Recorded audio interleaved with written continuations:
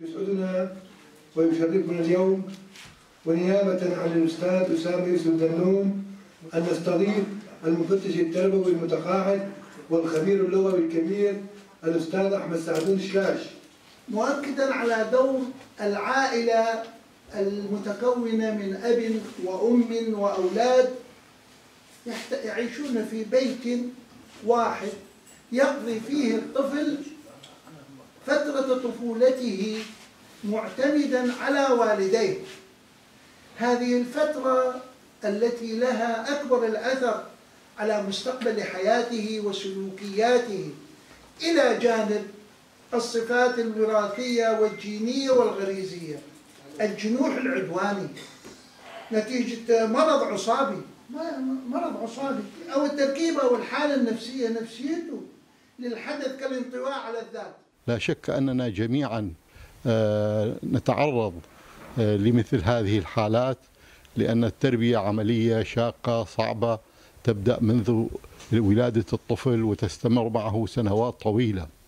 وفي هذا الجو العاصف من التغيرات والتحديات التي يفرضه الواقع واقع التلفزيون والإنترنت وكل ما يحيط بنا من أوضاع وتطورات كل هذه الأوضاع تشكل تحدي وتتطلب استجابة ناجحة ومن ثم فإن الآباء والأمهات جميعا بحاجة إلى من يقف إلى جانبهم ويقدم لهم خبرته وعلمه وما لديه من وسائل تساعدهم على توجيه أبنائهم آه، توجيها سليما صحيحا. محاضرتنا لهذا اليوم كانت حول جنوح الأطفال ودور العائلة في ذلك.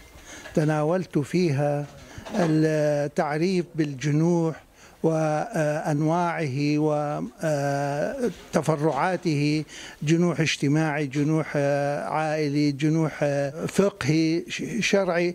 هذه وجنائي. هذه الجهات أبعدتها مركزا على الجانب الميداني والمهني وهو الجنوح من الناحية التربوية ودور العائلة والمؤسسات التربوية في ذلك. متناولا التعريف به لست كاختصاصي وإنما كتربوي. النبوي وسرت في هذا مبينا أنواع الجنوح أسبابه معالجاته آه، في هذا المجال آه، ومركزا على الجوانب الاجتماعية وجوانب التواصل الاجتماعي وما فيها وما عليها وتوجيه العائلة إلى الانتباه على ذلك ووجوب آه، احتواء المناهج التربوية لهذا الجانب ولنقابل هذه الحالة بموضوعية وبعلمية بدون تستر ولا خوف حالة حالة كأي حالة في المجتمع أو حالة مرضية. كانت جلسة ممتعة جدا.